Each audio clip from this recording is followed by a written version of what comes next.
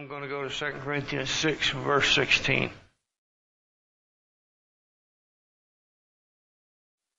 I want to talk this morning about God moving out. Uh, we talk a lot about the process of going into the tabernacle to minister to God, but I want to talk about this morning about God's outgoings. In fact, that's what I want to call it this morning. I want to call it the outgoings of God. Uh, let's go to verse 21. Uh, Exodus 40 and verse 21.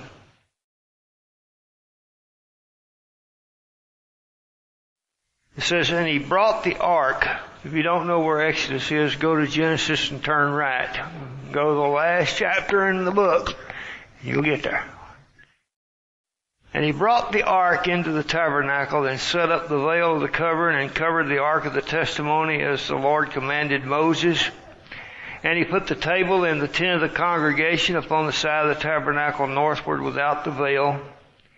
And he set the bread in order upon it before the Lord as the Lord commanded Moses.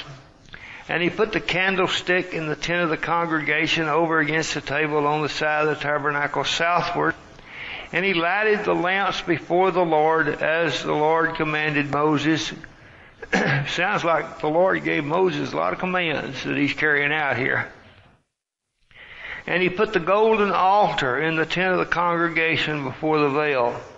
And he burnt sweet incense thereon, as the Lord commanded Moses.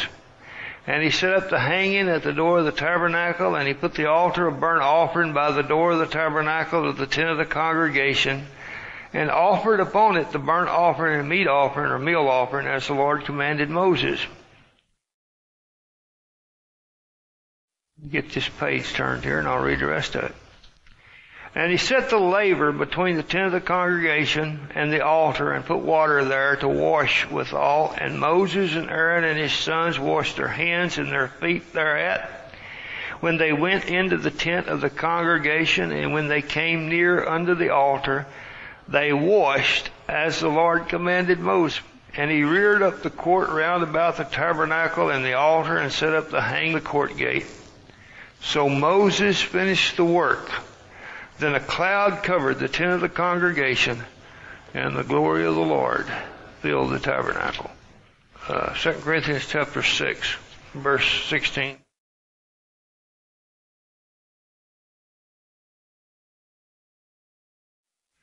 It says, "In what agreement has the temple of God with idols?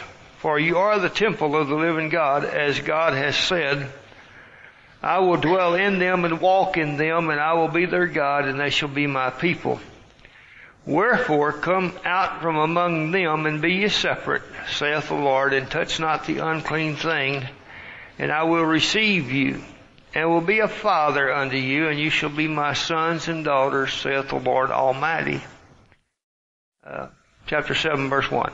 Having therefore these promises, dearly beloved, let us cleanse ourselves from all filthiness of the flesh and spirit, perfecting holiness in the fear of God. God said, I'll, I'll dwell in them and I'll walk in them. I know God wants to walk in us. God wants to reveal Himself through us to the world. And uh, we'll talk about that more later too, next, next time. Paul quotes that scripture and he relates it to temples, but we also know when you go in the Old Testament that he's relating it to the tabernacle. I want to just take the things of the tabernacle and kind of relate them, types and shadows to what God wants working in us in his outgoings to the world. First thing they did was they set up the ark of the covenant in the most holy place because that's where God came to dwell. God came to dwell in our spirit, in our holy of holies, and then He wants to manifest Himself out through us. That's why the Bible says in uh, Romans chapter 12 to present your bodies as a living sacrifice unto God, holy and acceptable unto God. And He says that's your reasonable service. Then you can prove What's the will of God? How do you prove the will of God in your life? You present your body a living sacrifice to God. You can't know the will of God until you present yourself to God as a living sacrifice. Then God begins to unveil His will to you. Why would God unveil His will to somebody that's not submitted to it? Anyway, uh, concerning the most holy place, God said this, There I will meet with you and will commune with you. Where did God commune with His people? God communed with His people on the mercy seat that covered the Ark of the Covenant in the most holy place. Where does God meet with us? Well, He meets in here, in our spirit. We're supposed to worship Him, the Bible says, in spirit and in truth. That's how we come to know Him. That's how we come to uh, commune with Him. But then He also says, I want to walk in you. I don't want to just dwell in you, but I want to walk in you. I want you to be my sons and daughters. I want you to become a walking temple of God so that God can live uh, in us and manifest himself to the world. Amen. So we go in to lay hold on eternal life. But then we go out so that God can walk among men. God can reveal himself in us. We are the dwelling place of God. I think that's pretty powerful. To me, that's a pretty powerful thing that, that God wants us to enable God to be made known to His universe. That God dwells in us, His tabernacle. I mean, how many, how many have heard this old saying? You may be the only Bible that some people ever read. You ever heard that old saying? Yeah. Hopefully when they do, they're not reading fiction. I think sometimes if somebody's reading God in my life, they're probably reading fiction. But what, what God will read is the autobiography of God.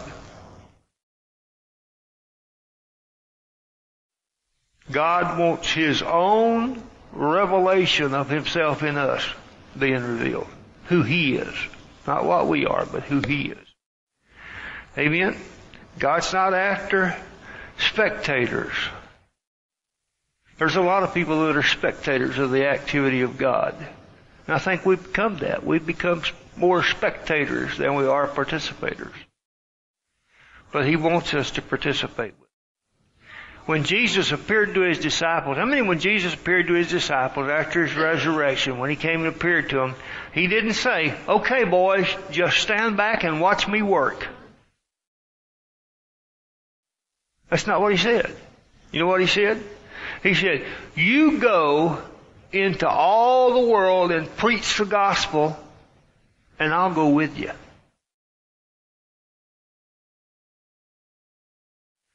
And they believed him. And they turned the world upside down. Or some people say right side up. Because it's upside down to begin with. but our generation, I mean the generation that's in the church today needs to take that challenge to heart. Of discipling the nations. We've lost that truth in the church. We've lost it that God wants us to go out, taking them out into the world to disciple the nations into the will of God. Amen. God always reveals himself. If you've ever heard Kelley Varner, he says God always reveals himself in three dimensions. We are spirit, soul, and body. The tabernacle was an outer court, a holy place, a most holy place. There's lots of threes in the Bible all the way through. There's the third day. There were three feasts. God's of triunity. He's three in one. He's Father, Son, Holy Spirit. Amen? We know that. And there's a lot more. My point is, if you look at the tabernacle, what you see all the way through are the threefold outgoings of God to where God manifests himself into the world.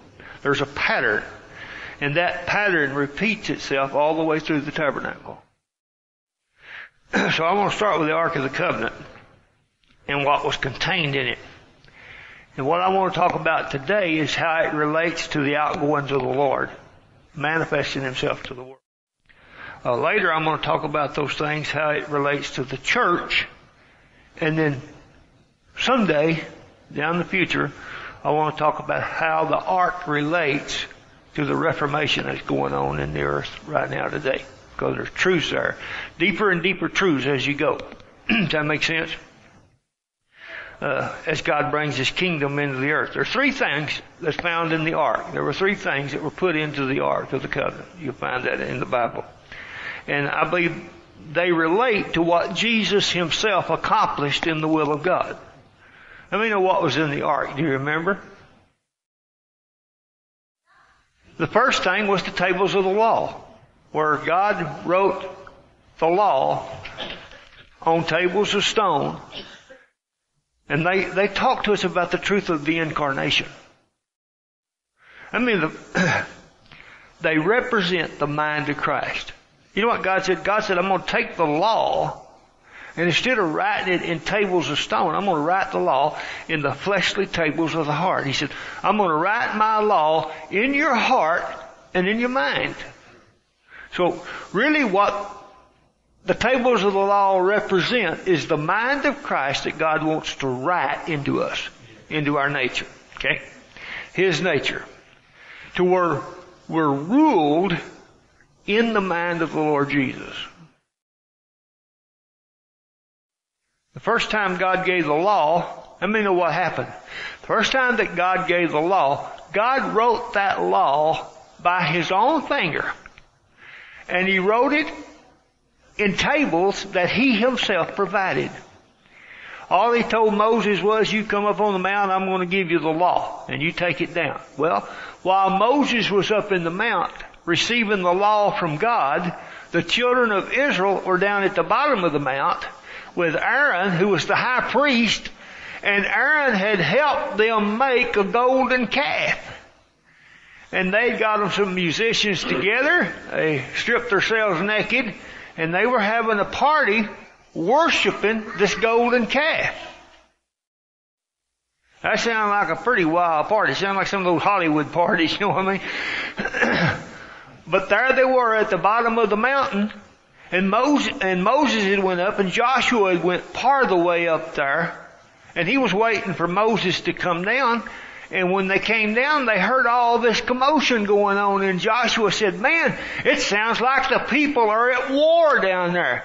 And Moses had already heard from God. God had already told him what was going on. They're worshiping an idol down there. And he said, no, it's not the sound of war. But they're committing sin in the camp. And when he went down and he saw them worshiping that golden calf, he got so mad. He threw down the tables of the law and he broke them. So later God tells him, well come back, come back up and I'm going to give you the law again. How many know man cannot take the law into his own fleshly hands and keep it?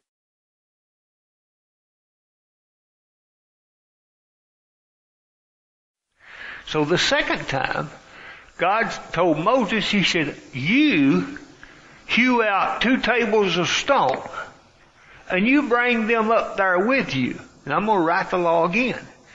But this time, bring a wooden box, an ark, to put that law in to keep. So he made this ark of wood and he brought it up and God wrote the law again and put it in that wooden box. In Deuteronomy chapter 10, he says, he was rehearsing what God had did and he said, it's still there today, preserved in that wooden box that he had made. Well, wood represents humanity. The only person that ever lived that walked it out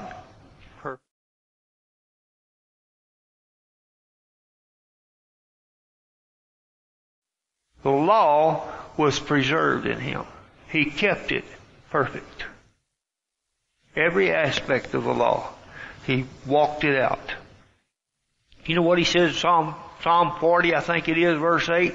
He says, I delight to do thy will. Oh.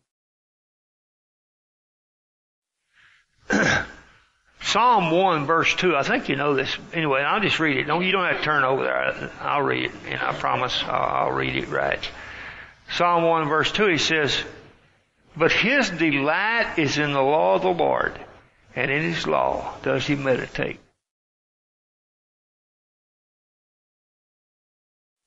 So the tables of the law represent the incarnation of the Word of God. Are you with me? It was the Word of God incarnated in a man named Jesus who walked it out perfectly. The Word, the Bible says the Word was made flesh and tabernacled among us. And God wrote the laws of His own divine nature in the heart and mind of the Lord Jesus.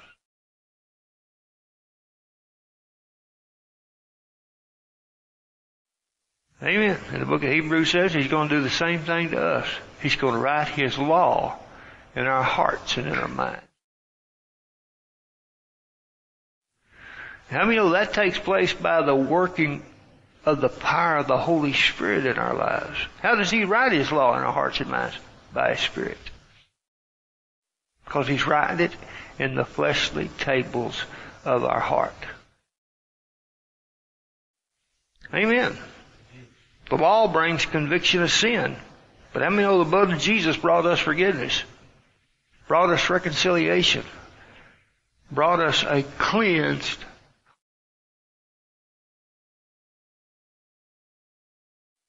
cleansing our heart from dead works. The law is called the testimony.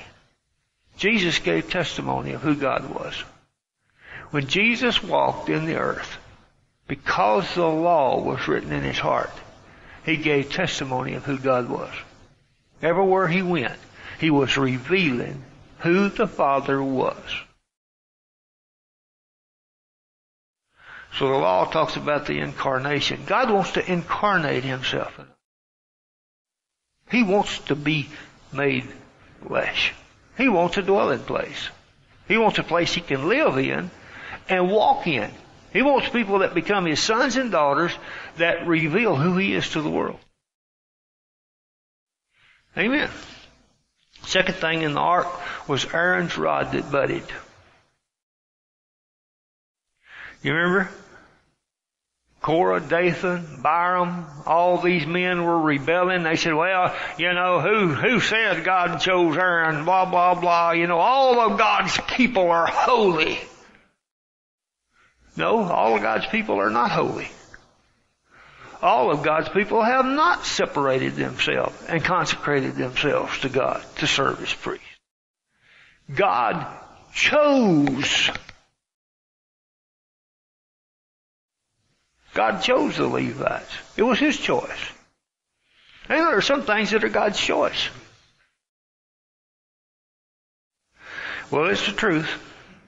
They took that stick a dead stick, an almond rod, piece of dead wood, and they took it along with a stick from every other tribe that was a dead stick. And they took those sticks and put them in the most holy place and laid them before the ark. And the next morning when they went in there, the rod that was for Aaron had budded, it had blossomed, and it had bore almonds in one night. Hallelujah. What does that talk about? Resurrection life.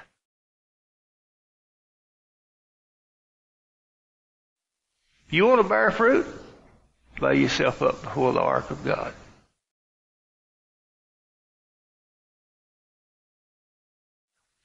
The only way you can move from a dead state in Adam to a living rod before God is in Christ.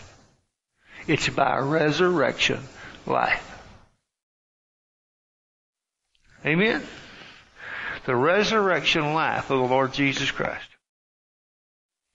Now, we know God causes us day by day through all these things we go through in our lives. You know what we do? We are proving out the reality of the resurrection of Jesus Christ. That Christ Himself lives in us, that He's living in us by His resurrection life. How does He prove that out? He takes you down into a state where you're dead. You're dead. You can't bear any fruit of your own. You can't do anything. You're helpless. You're a dead stick. You ever been a dead stick? Yeah. Every time it seems like there's some aspect of death that overcomes us. You ever been there where you feel like you're overcome by death? We receive an impartation of the life of Christ. You know what? It raises us up and it makes us victorious.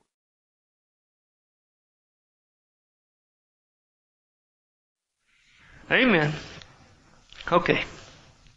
We'll go deeper in these things later. The third thing was the golden pot of manna that was placed inside the ark, preserved.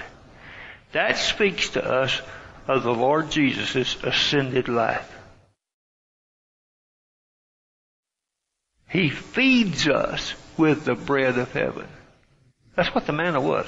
The manna, Jesus said it was the bread from heaven. It was the bread of heaven. It was angels' food.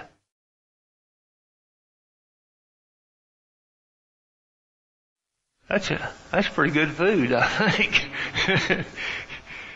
but we begin to feed upon the words of life. Are you with me? It's a daily provision that He makes available to us.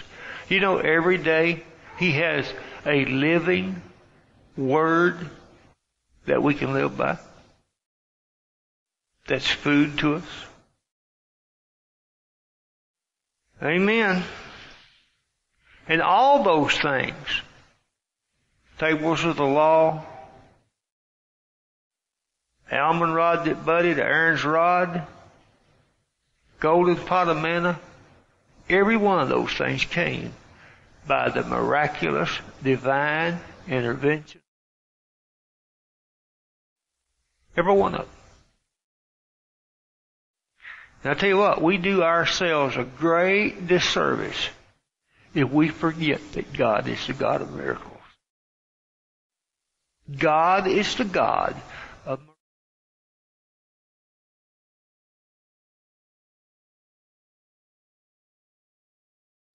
In fact, if we lose that expectation of God's divine intervention in our lives, we lose what's in the ark.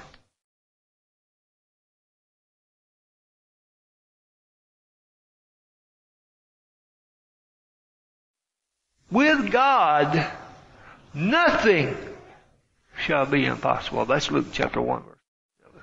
With God, nothing. That was Mary's response to God. All these things came during times of trial. Every one of those things that was in the ark came during a time of trial. In fact, the law was given while Israel was down at the bottom of the mountain worshiping a golden calf. Manna was given when they were wandering in the wilderness complaining against God that God brought them out there to kill them. Because they didn't have anything to eat. And the rod of Aaron came to life during the time that Israel was complaining against Moses and Aaron and his sons being chosen for the priesthood. And you know what happened to those that rebelled? The earth opened up and swallowed them alive. My, here's my point. None of those things were deserved. They didn't deserve any of them. They didn't deserve the law of God. They sure didn't deserve God's priesthood, and they didn't deserve the manna. God gave it to them anyway. Why? It was just the mercy of God that intervened to bring them provision and to settle disputes. That makes sense. We've got to be careful. We have to be very careful not to lose sight of God's own sovereign workings. Amen. God works sovereignly to fulfill. If you won't do it, He'll bypass you and He'll go to somebody else.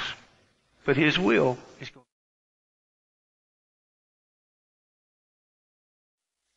Amen. Okay. Let's look at another group of three. The ark. The ark itself, the mercy seat, and then the cherubim on top of it. Ark, mercy seat, and the cherubim. The cherubim were wrought on top of the mercy seat, looking at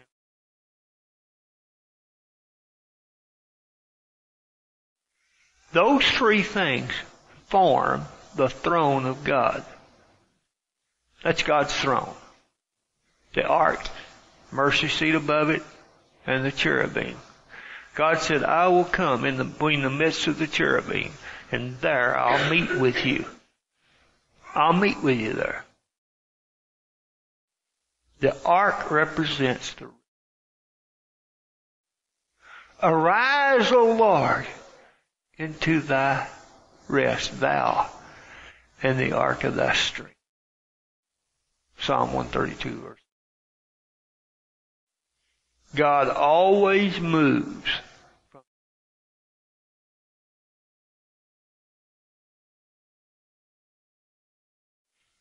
His rest is the result of His throne ruling over all. You know why God's at rest?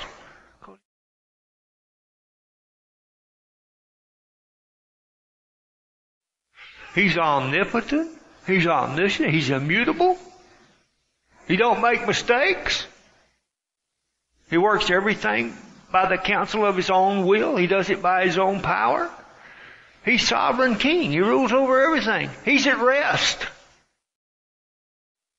You know what his invitation is? Come, enter into my rest. The works have been finished.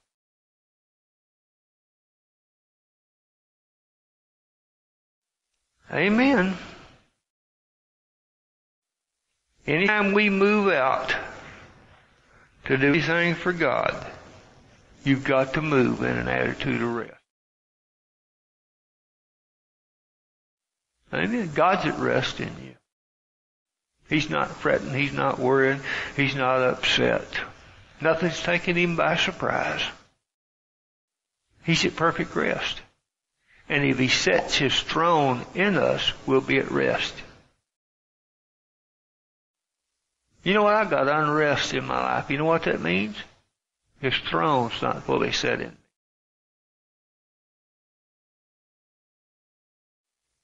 Amen. All I'm saying is we have to make room for God's throne in our lives. We have to yield to it. Come, take my yoke upon you. Learn of me. I'm meek and lowly. You'll find rest for your soul. That was Jesus' invitation. The ark was made to contain the law of God. It represents the revelation of God to man. The ark is called the Ark of the Testament. Because it bears witness. It has the law within it, which is we are supposed to bear witness to God. Amen. The ark of his testimony is in me. I'm supposed to be bearing testimony of him, who he is. Amen. Bears witness of God, so do we. It's called the Holy Ark. So are we.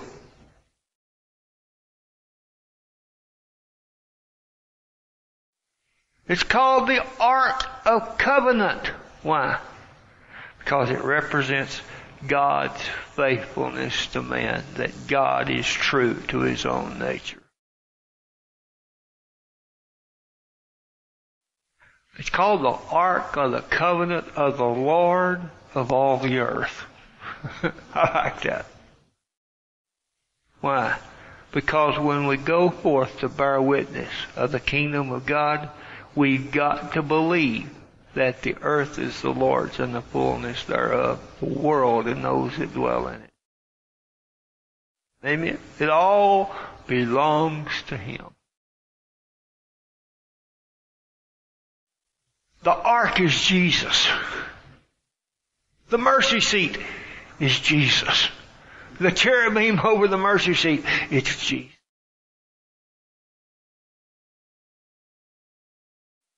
Second thing was the mercy seat. The word they translate mercy seat, when they translate it over into Greek, it's called the propitiation. The word propitiation means to turn away. To turn away God's anger. Some people don't like that, so they use the word expiation. What that means is the turning away of sin.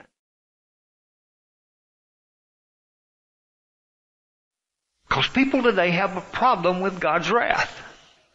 They don't believe God gets angry. I'll tell you what, the Bible says God is angry with the wicked every day. Every day when God gets up and he looks at the wicked, he's angry. He is angry with the wicked. Every day. Why? Because they violate love. That's why. Amen. If we don't believe God's angry with sin, we don't understand the cross. In fact, God has a very violent reaction to sin. You can find it all the way through the Bible. He has a very violent reaction to sin. Anytime he sees sin, he violently reacts to it.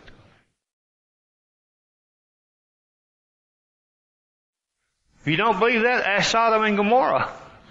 That was a very violent reaction to sin. Read the book of Revelation. You know what happens in the midst of the throne?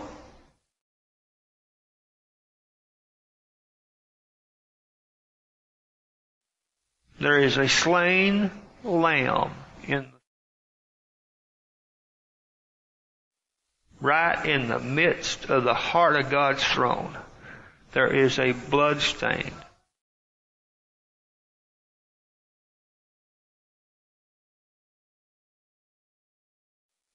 That's where anger's met.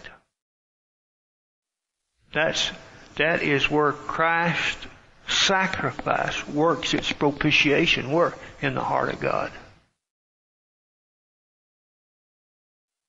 it met God's anger. Amen. The ark speaks of his light, his mercy seat of his love, and the cherubim speak of his light.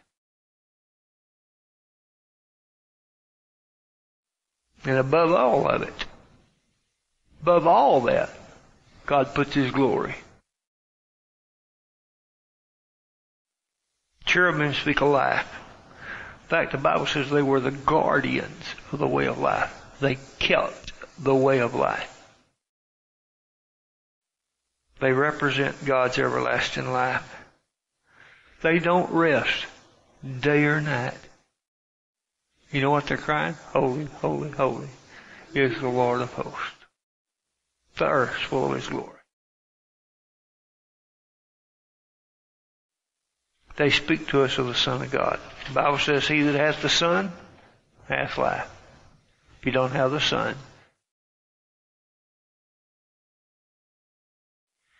If you move out in God's light and God's love and God's life, you will find yourself becoming an effective witness. In fact, cherubims were what represented the flesh of Jesus. You remember the veil that was before the most holy place? It had cherubim wrought into it. They were sewn into the veil. They were a part of it. Well, the veil, the Bible says, represents the flesh of Jesus. And when the veil was rent, the way into the most holy place was opened up.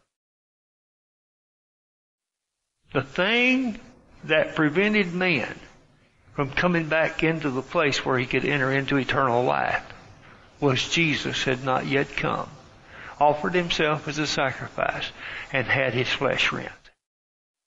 But the minute Jesus came and his flesh was rent at the cross, the way was opened up so that man could come back to the tree of life and live forever.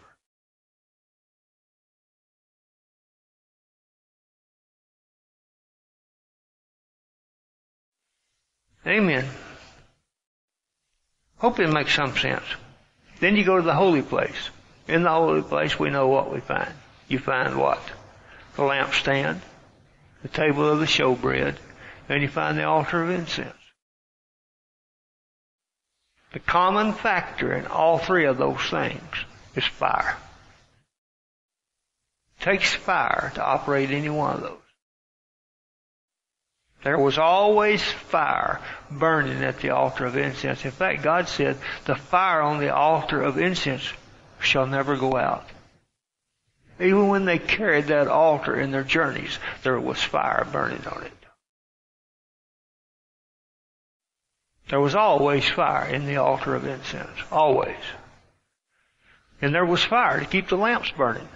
When they set up the tabernacle and they put the lamps in there, it took fire to get those lamps back on fire and shining. And there was fire for the bread. Why? Because the bread had to be baked. It took fire to make bread.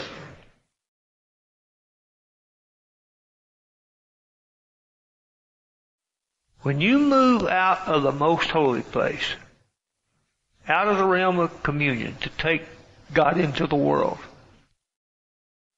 The fire of God has to burn in us.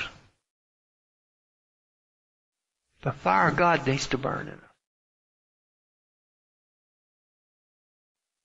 We got to have experiences where we gain fire from God. I'm making sense to you. We have to have experiences with God where we get the fire we need from God.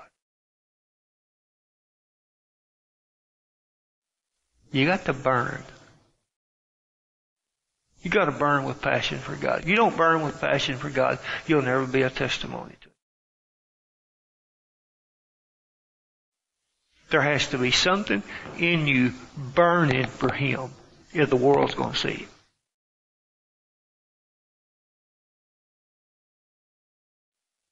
Greatest deficit in the church today is the lack of fire.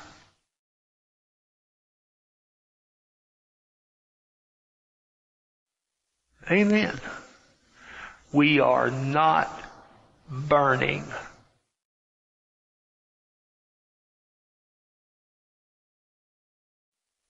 I remember this one brother, he said he was tired of prayer meetings that he went to where he said everybody around in the prayer meeting were talking about their lack of love for God. Oh, I just don't love God enough. I just don't have the love for Him that I ought to have. Okay. Of course we don't love Him enough. Oh, you don't love Him enough and I don't love Him enough. But what what do you think your wife would say or your husband would say if every day you told them, oh, I just don't love you enough? Come on. But I know what my wife would say. Well, Buster, you better start. Come on, I'm telling you the truth. You're the one that has to make the fire burn. We're the ones that have to let the fire burn. You stir it up. Oh, God, give me fire when I need it. Well, you need it. Come on, we need it. We need to get it. Well, I don't know how to get it. Make a sacrifice. That's how you get fire. If you make a sacrifice, God will supply the fire. The fire on the brazen altar in the outer court came supernaturally, sovereignly. When they set up the altar of burnt offering in the outer court, God caused fire to come out of the most holy place and hit that thing and caused fire to burn. Why? Because there were sacrifices being offered. You make a sacrifice, God will supply the fire. Come on. That right? I'll tell you something, the high priest never went into the tabernacle to minister to God unless he because when he went into the holy place, he had to start the incense burning and he had to bake bread.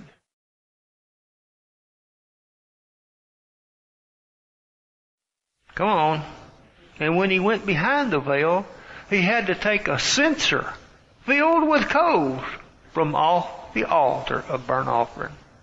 He had to take that fire from that altar that was in the outer court. That's where he got his fire from. He got it from the altar of sacrifice. You want to go into communion with God?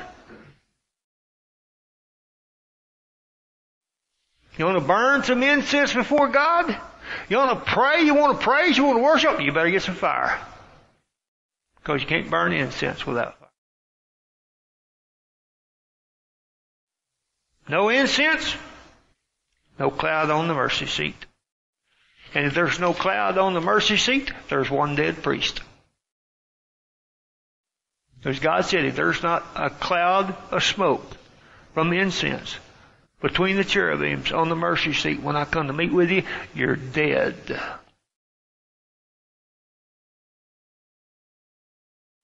you'll die. Amen. I didn't say it. God said it. Why? Because God wants us to burn. Not burn out, burn on. Amen. I mean, we're supposed to burn with love and passion. I mean, know that. With intensity. We're supposed to have some type of intensity of desire on the inside of us. We need the fire of God.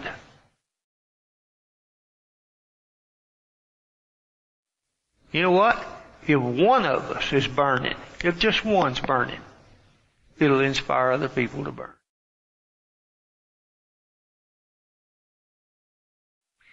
If one lamp is burning, it'll give light to the others. Are you with me? If one person has baked bread, it'll feed others. If one's burning incense, the fragrance from that will put an aroma of that incense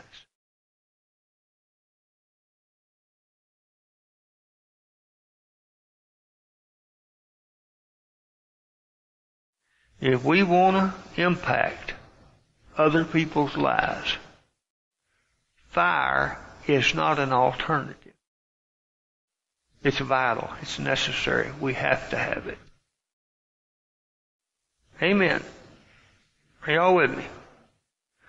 And I'll leave that alone. Then there's the outer court.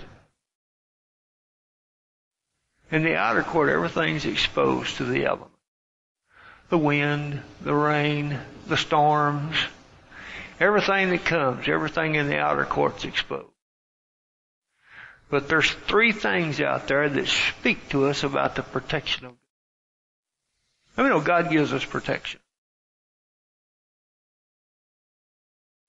When we, when we move out to the world, we have protection over us. The tabernacle was covered.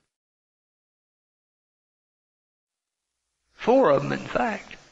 And the last one was either badger skins or porpoise hide. We don't know which. Because the Hebrew word is not a very translatable word. It can mean badger skin. It can mean porpoise hide. Maybe they got porpoises when they crossed. Or dolphin hide. I don't know. But it's tough. It can withstand the elements. Amen. That make sense? There's the coverings of the tabernacle. Then there's the laver. And then there's the altar in the outer court. Those are the three things that are out there.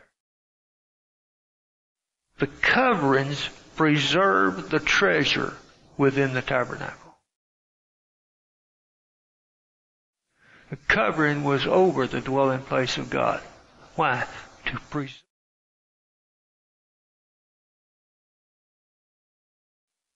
God is able to, God's able to keep us. When we take our spiritual values out to the world,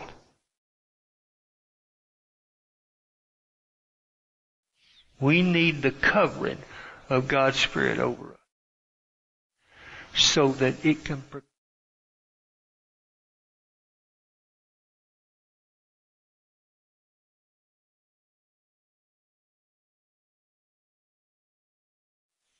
so that they can be preserved and kept.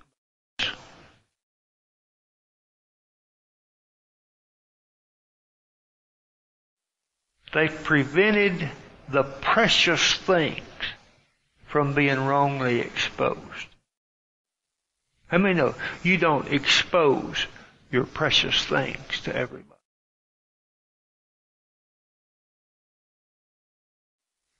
There are some things that the world has no right to see.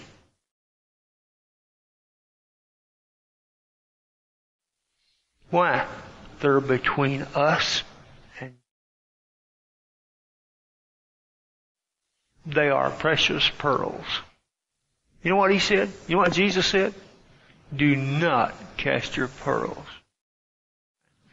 Do not expose your precious things to the unclean. If you do, they will defile. They'll trample them underfoot. Our pearls are not for the world's curiosity or judgment. They're precious to us. They're hidden. Amen. We can't just move in our own direction in our own way and expose those things to anybody and everybody. Amen. Why? Because he wouldn't appreciate their value.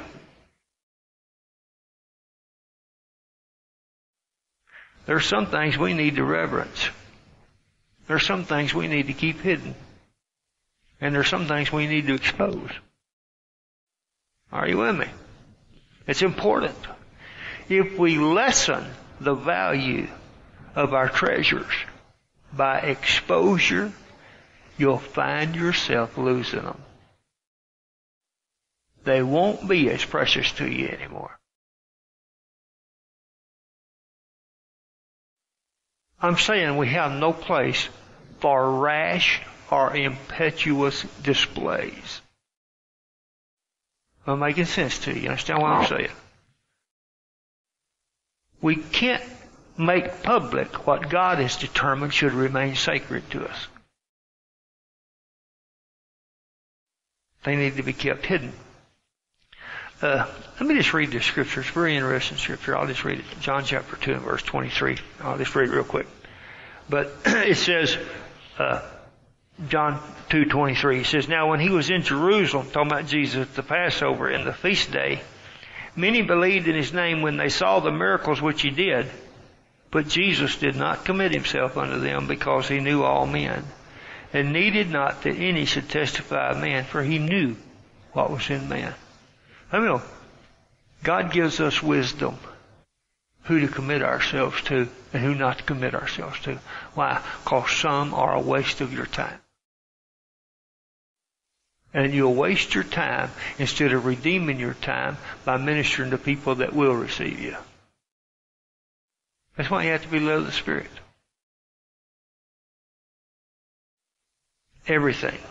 We need Christ to cover us as we move out into the world. That's all I'm saying, okay? Why? It protects what's precious from forces that would want to come in and spoil. Amen. And it preserves what is precious to those that contain those things. It preserves what's precious within, and it protects it from what's without. That makes sense. A covering protects from what's evil, and it preserves what's good. But you know what? You can't just keep everything covered. Hello. Why?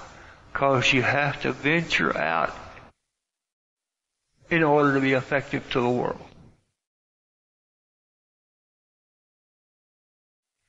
We got to learn that God is able to keep us from the evil one. For a long time we had this fear, fear in the body of Christ that I can't go out in the world because the world will corrupt me. Well, if the world's corrupting you, you don't need to go out.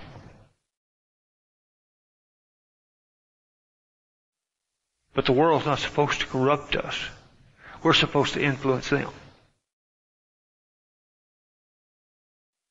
Amen. He that is in you is great.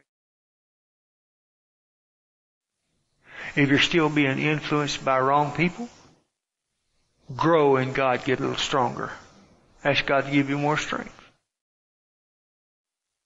Are you with me? Alright. The laver. One thing about the laver, the laver wasn't really affected by storms because it was filled with water anyway. Amen. But it was for cleansing. How many know you need cleansing for your journey when you go out into the world?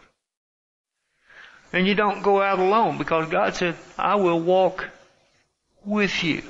I'll be in you. I'm going to go with you into the world. I'll walk in you. I'll be your God. You'll be my people. Amen.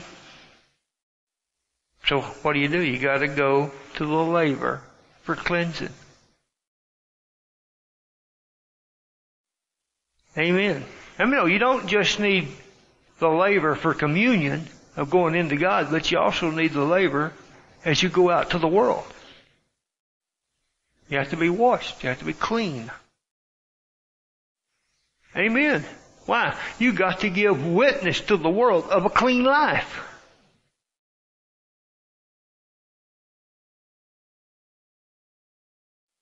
Alright, then the altar. The protection from the blood. Protection from the blood. I mean, that's the beginning of your entrance into God. And you need the power of the blood working in your own life when you go out and face evil supernatural. Your heart has to be clean. If your heart isn't clean, if it's defiled, the enemy will find the doorway into you. Amen. Are you here with me? If the blood's not on every door of your life, the enemy will find entrance. Amen. Then I want to talk about the linen fence the pillars, and then I want to talk about the curtain, and I'll be through. All around the tabernacle, and I've talked about this before, there was a white linen fence. Linen represents the righteousness of God. The first thing anybody saw was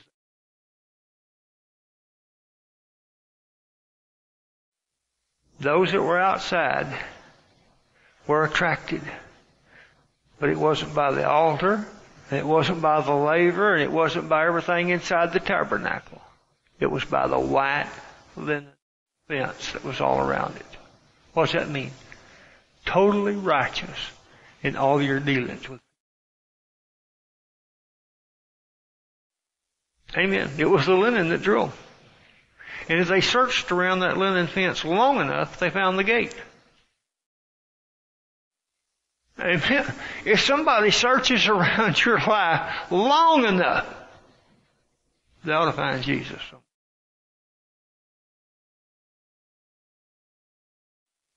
There ought to be an opening somewhere for you to tell them about the Lord Jesus. The righteousness of the saints. Jesus said, when men see your good works, they will glorify your Father which is in heaven. Because they know God's reaching out to them. How many know people come to know Him by seeing God's love in our lives? God's at work in us. And if He's at work in us, it should make people curious about God. The linen was supported by poles, and they had silver caps. And that's all you could see of them with that little silver cap on. And they were set in sockets of bronze. And every one of them was in its place. If one pole was out of place, guess what? It would ruin the use of it all. In fact, it'd even pull other poles down. You ever set up a tent and you didn't set it up right? you don't get them poles just right, guess what happens to the rest of them? They'll fall.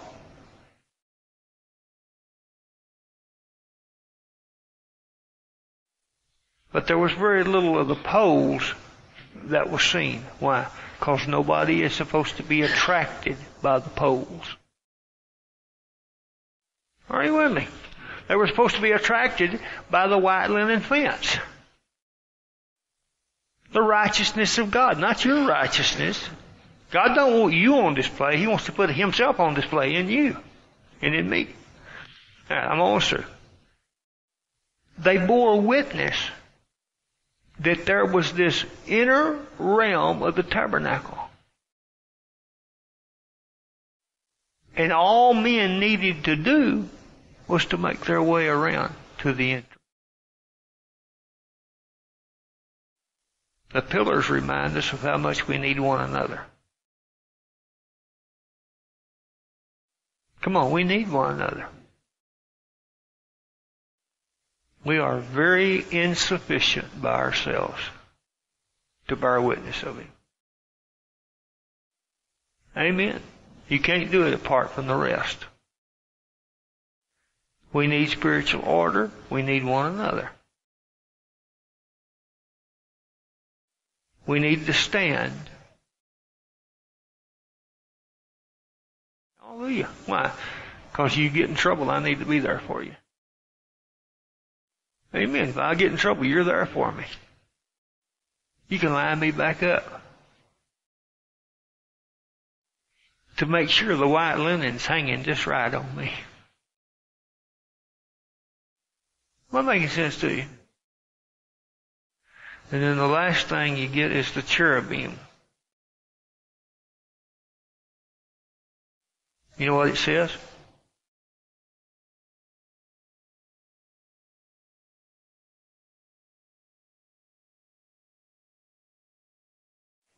Christ Himself. Let me tell you about what Jesus did for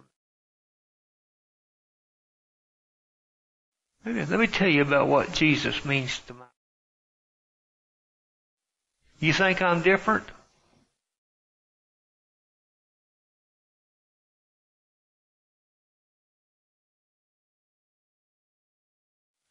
God wants to walk in us out into the world so that we can tell men, here's the way in. Jesus is the way, the truth, the life. If you're going to come to the Father and have eternal life, He's the one that made the difference in my life. I want to tell you what, Jesus is the one that made a difference.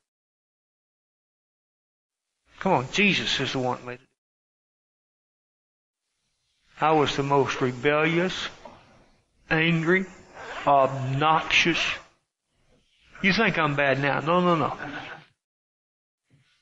I was the most rebellious, angry, obnoxious human being that ever walked. I didn't just get mad, I had rages. And when I had rages, I tore everything up. I threatened to throw my principal down the stairs. He threatened to throw me down. what I'm telling you is, I was a mess. I went to a Baptist church that's holding revival. I went so I could see my wife. We weren't married. We were going together. She was very young and I was very young. We got married when she was 16 and I was 18, so go figure. We were very young. 1967, I was 17 years old, she was 15. I went to that revival for one reason and one reason only.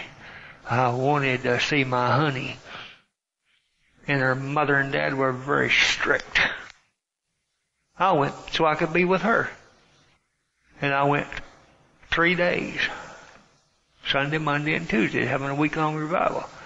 Sunday, Monday, and Tuesday, it was getting too hot. So I didn't go Wednesday. Because I knew he was talking about me. I went back Thursday. And when he gave the invitation, I knew God was talking to me. This is your time. You need to come. I believe with all my heart because I did. I did not go the way I was going. Did I still have problems? Oh yeah, those problems were not cured overnight. But something changed inside me. Something changed in my heart.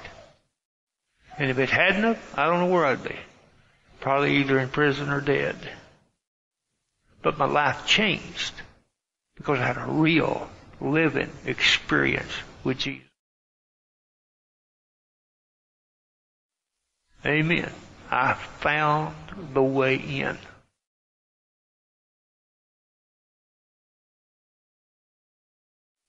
You know how I found it? Jesus said, This is the way. Here, come in right here. This is the way. You want eternal life? Come on in. You want to have a life worth living? I'm it. It's your time. It's your choice. You can go your way or my way. And I said, I'd rather go your way. My way ain't working out too good. And I'm thankful. I tell you, I am thankful with all my heart I came to know Him. Because He's made all the difference. Amen. He's, He's the one. Come on, let's be honest. He's the one that's made all the difference in every one of our lives. He's the one that made the difference. We ought to have some responsibility to take that message out to other people. To tell them Jesus made a difference in my life, He can make a difference in yours. You don't, you don't have to live the way you're living. There's a better way to live. Amen. I'm through. Father, guide us and direct us by your Spirit. That, that's our greatest desire today, that you would guide and direct us by your Spirit. Father, we fail so often and sometimes so much to really give place to the Lord Jesus in our lives. Father, we ask you to forgive us. Cleanse us from all unrighteousness. Father, use us to make a difference in other people's lives. Lord, we don't want to be re- religious. We want to be real. We want to manifest who Jesus is. We ask, Father, that you would guide us, direct us, motivate us, empower us by your Holy Spirit. Give us wisdom. Give us understanding. Give us direction, we pray in Jesus. Good morning. How are y'all this morning?